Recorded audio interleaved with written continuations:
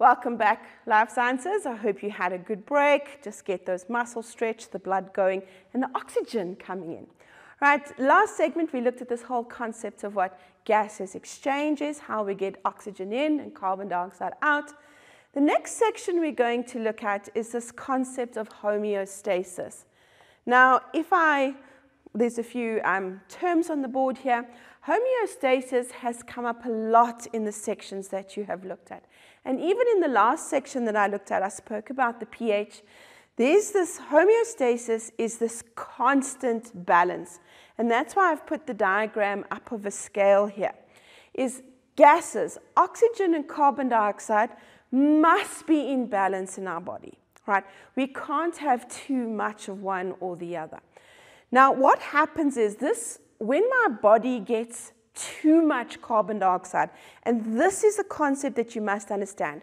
It's not about the oxygen levels, okay? It's not about the oxygen levels. I'm getting the oxygen in.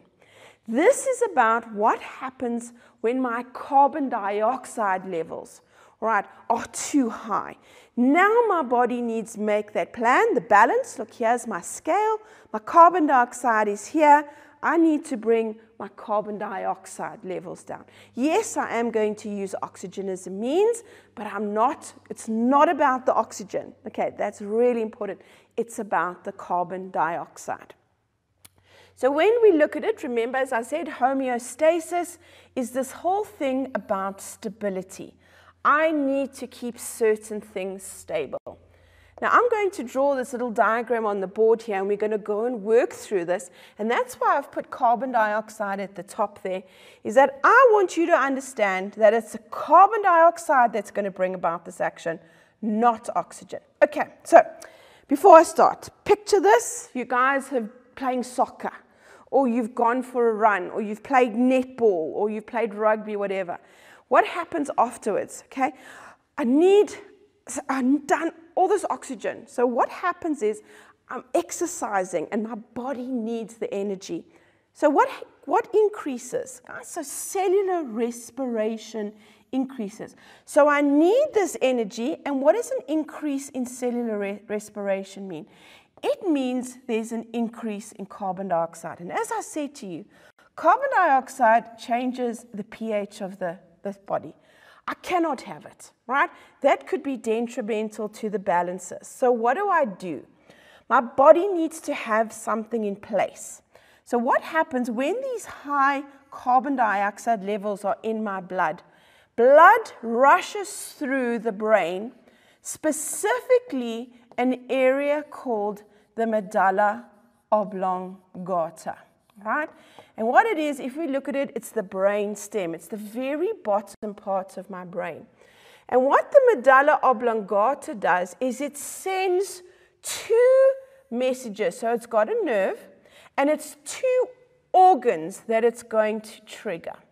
The first organ, it says, it goes to the heart. All right?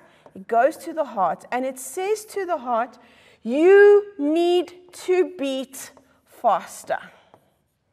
Right, so why would I need to beat faster? Very simply, guys, what am I going to get in? I'm going to get oxygen into my body quicker, and what am I going to get out? I want to get the carbon dioxide to my lungs quicker. So the heart must beat fast. I'm sure you guys, after you've had a lot of exercise, why is my heart beating? Right, my heart is beating to get my carbon dioxide levels down. The second organ it sends it to is my lungs. All right, here's my lungs.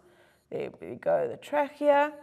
Right, and what does it say to the lungs? It says you must breathe in deeper, big breath, sorry, let me go there, deeper, and you must breathe in more often.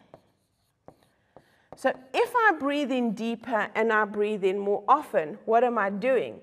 I'm increasing my oxygen and I'm getting my carbon dioxide out faster.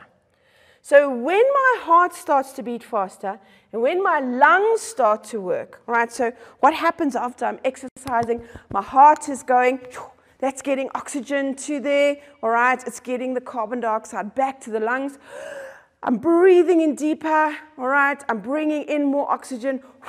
I'm breathing more out more carbon dioxide, and I'm breathing a few more times again, getting more oxygen in, but most importantly, getting more carbon dioxide out. Then after a while, what happens?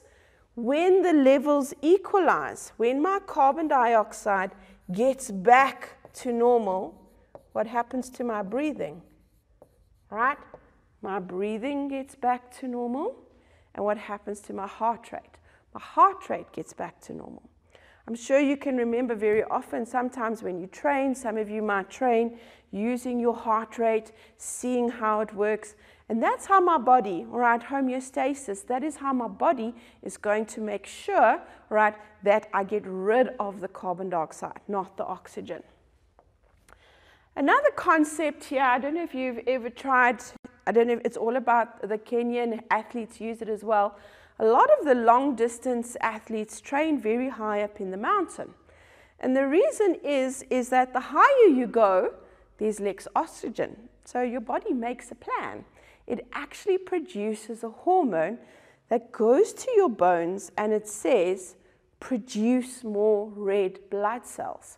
Right, you see this guy's climbing the mountain or whatever. So as soon as I go high up and my body doesn't have, right, there's not enough oxygen available, as you will see over here, my body makes a plan, homeostasis. This is when oxygen is not available. And I make the pro and the hormone makes more enzymes, all right, not more enzymes, more red blood cells, and those red blood cells, I can bring in oxygen more. You'll see very often when sports teams come and they have to, they train high up at high altitudes, which makes them fitter if they want to go and train at lower altitudes. So what is this? This is gaseous exchange. My body, shortage of oxygen, my body makes a plan in order for that to be encompassed. I have an essay type question on the board here, but we don't, I know you don't do essays, but I just want you to realize that when it comes to this, the homeostasis, there's the chance that you could have a long question.